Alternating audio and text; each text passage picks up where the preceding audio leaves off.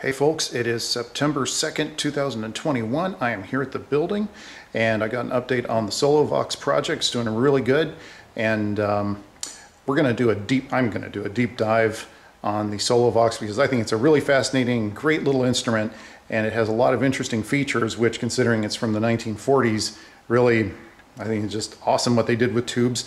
I'm kind of new to tubes myself. I mean, I saw my dad's old Heathkit and Dynaco equipment, but I didn't ever do anything with them. And later on in my life, uh, the uh, thought of the high voltages terrified me, and it still does actually.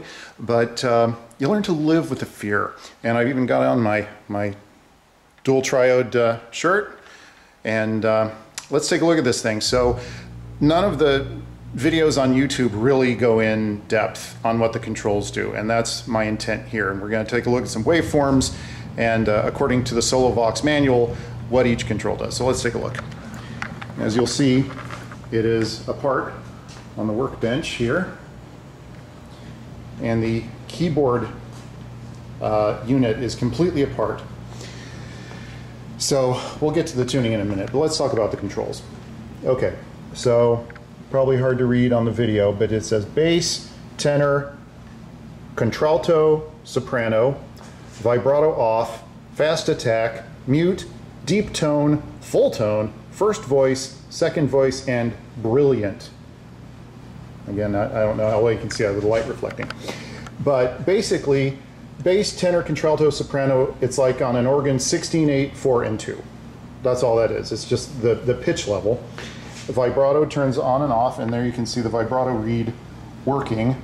Uh, it's not working as it normally would because the unit is not flat on the table.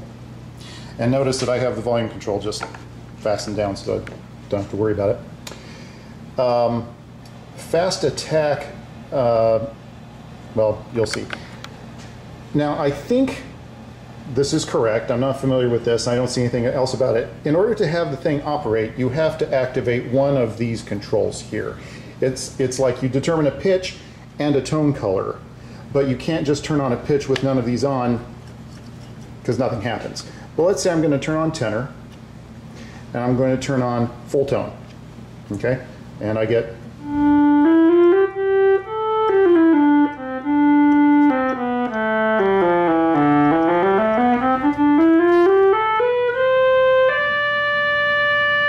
And you notice even with the vibrato off, you can still hear it.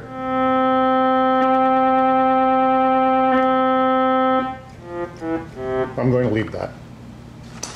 So according to the sheet here, let's go through the tone controls. Okay, well first off, uh, let's hear bottom C because I love the bottom octave.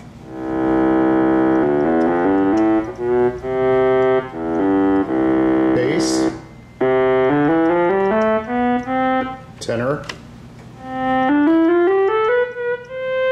contralto, and soprano.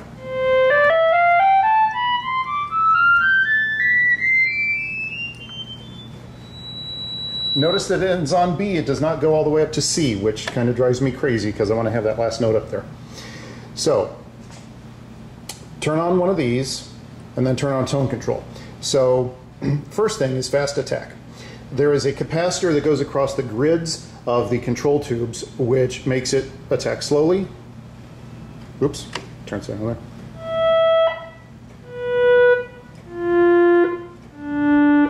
Turn on fast attack, it gets rid of that capacitor. Okay. Mute. The mute right here. It says six half-wave rectifiers in three double diode uh, tubes and V12, well V10, 11, 12, are normally shunted from ground to the six input wire, six output wires of the oscillator and frequency dividers. Thus, the tone produced is a string of odd as well as even harmonics. When the six diodes are disconnected by turning the mute switch on, the clarinet frequency of tones is produced. It's not a very dramatic effect.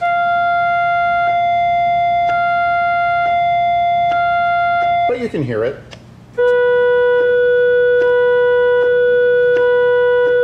And especially if you go into the bass range, with mute on. Get kind of clarinetty.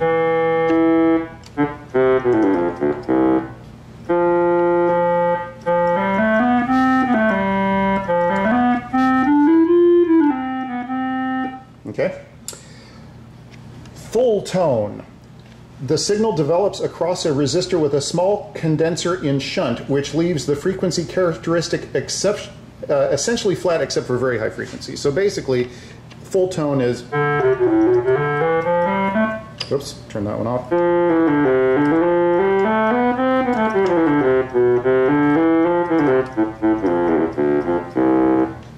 Contralto ring.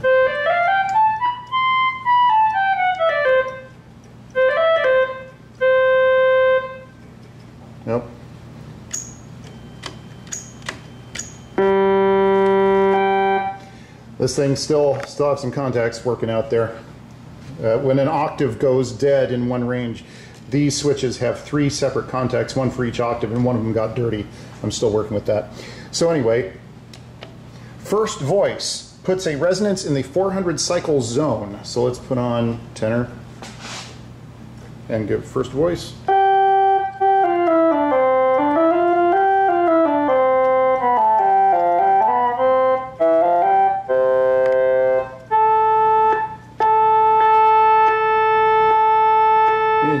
Resonance on there. And let me give it the bass. Oops, I have soprano on there.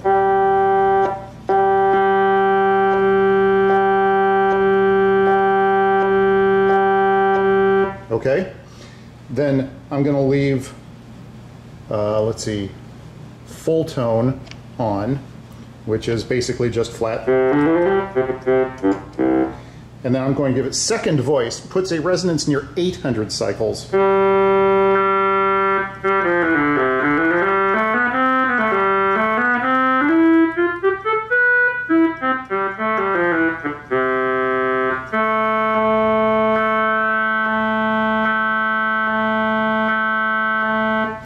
These are basically just peaking filters uh, that they've included, and they use chokes and capacitors, not resistors and capacitors, and I think that gives them a slightly different sound. And then brilliant over here, the signal develops across an inductance, emphasizing the higher frequencies. Boy, does it ever. Uh, it also makes it twice as loud, so here's what it does.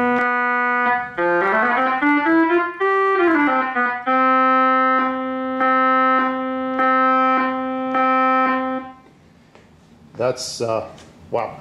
So anyway, you can turn on 16, 8, 4, and 2.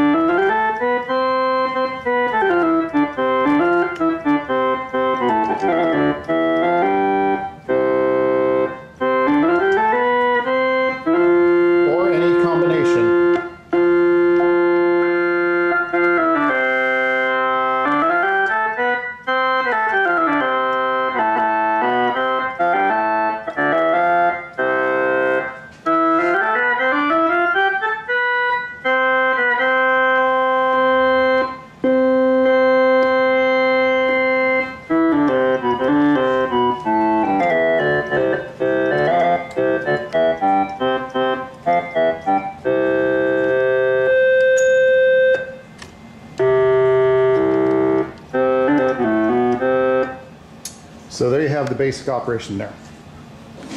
The tuning of each note is determined by the capacitors underneath the keyboard, in the keyboard unit. It took a long time to figure out how this worked, but the basic thing is it's pretty much the exact opposite of what I, what I would have expected. There are 12 sets of capacitors, one for each note, right? Okay, here's what I didn't expect the oscillator, the master oscillator of this machine is always running at B, which is that note, or the very top note. Okay?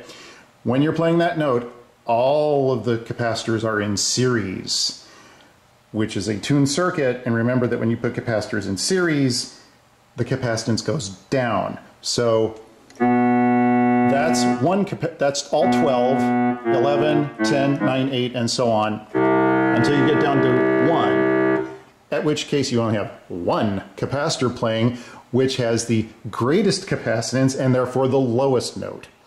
So when I was thinking, I don't know why, I just figured it was in reverse, that uh, uh, the lower you went, the capacitors would all be stacked up in parallel, but it's the opposite of that. So the original capacitors were way out of spec and the tuning was terrible.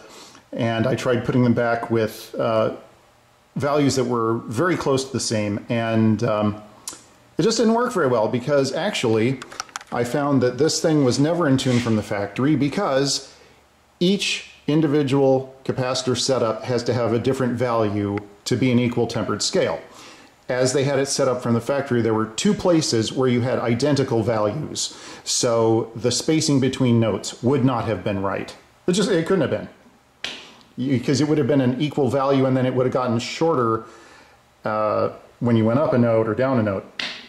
So I went to great trouble to fine tune everything. And there's one place right there where I actually put two capacitors in series across a bigger one just to get the tuning right on. So I went on with a, uh, with a Korg tuner and literally just would touch, would bridge capacitors across each one until it came dead smack into tune. And you can start with C down there, number one, because it's a 0.02 microfarad capacitor and it could be exactly the same. So you use that as a reference and just keep adding your way up and it comes out to be in perfect tune. And as you can hear,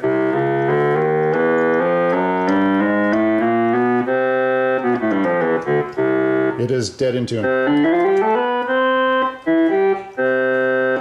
Very good tune on this thing. Okay, so that's uh, how that works. Now we're going to take a look at some of the guts here. This is something I've never seen on YouTube.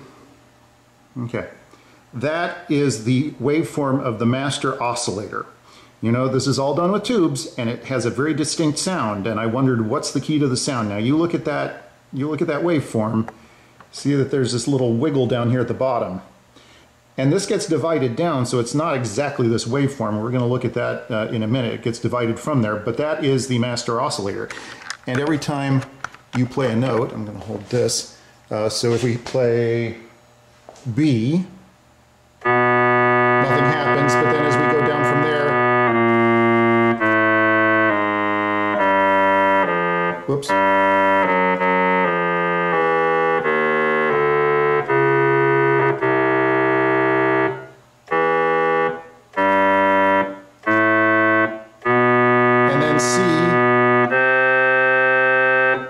Is actually the lowest note of the oscillator. So when you play any key, you're switching in these, cap these caps into the tune circuit up there. That's the way it works. Uh, I am going to readjust things a little bit so that we can see what the dividers do and then uh, what the um, what the actual output of the speaker looks like. Okay, now I've readjusted the uh, clip leads on the oscilloscope. Now here's where it gets really interesting. You see that waveform right there? That's the output of the binary divider. That is not anything you're going to find with solid state equipment. I've got it on one of the 6H6 uh, mute tubes and I can show that when I play B, nothing changes and then we go down.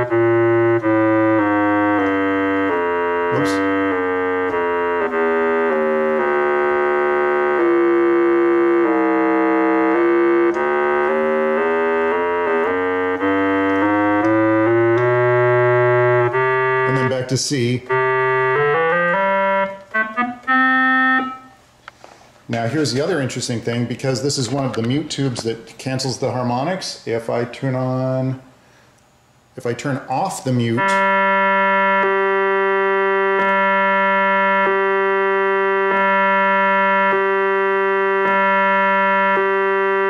that's the effect that it has.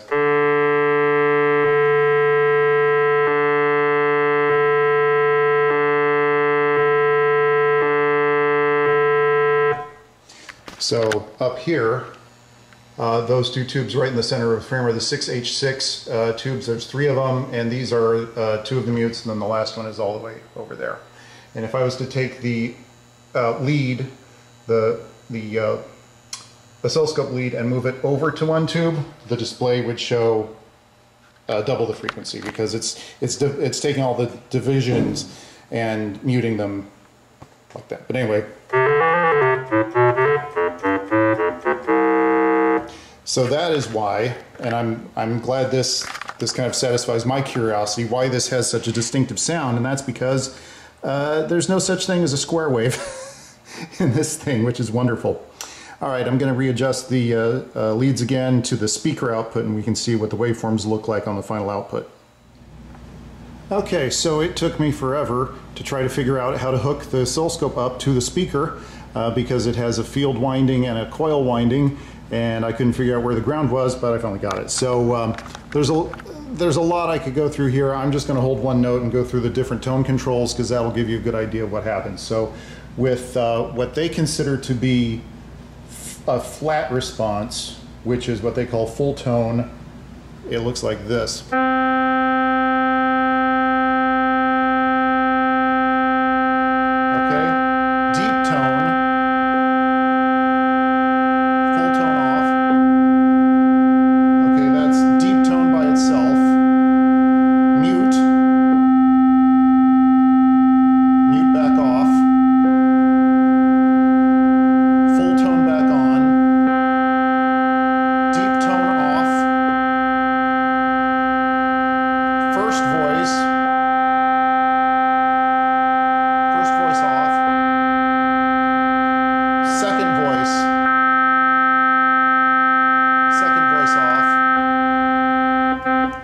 I'm going to turn the voltage display up when I do brilliant.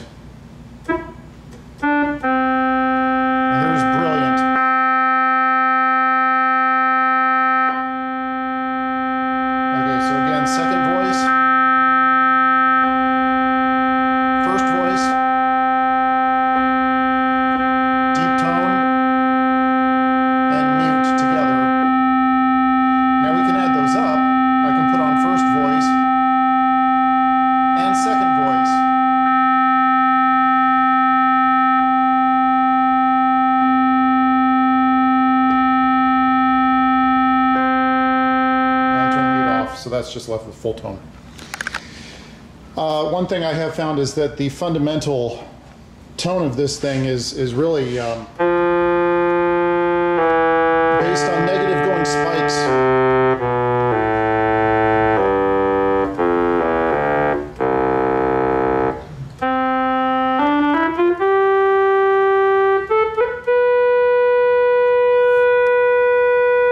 And if we go up in pitch into contralto,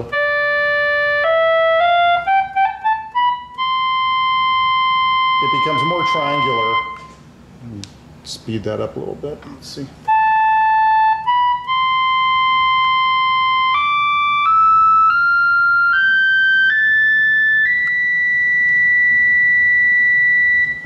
And we can go up another octave.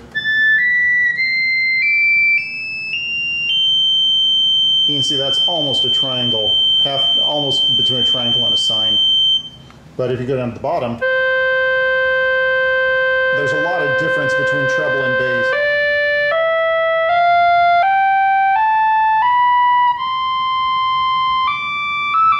Oops.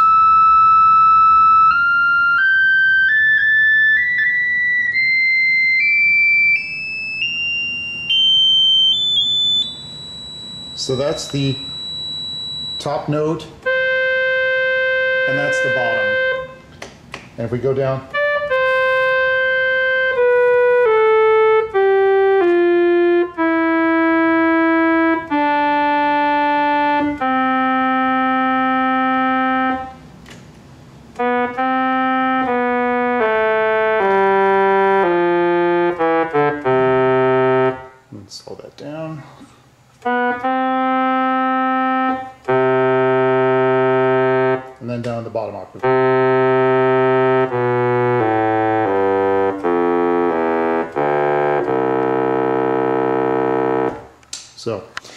there you have it.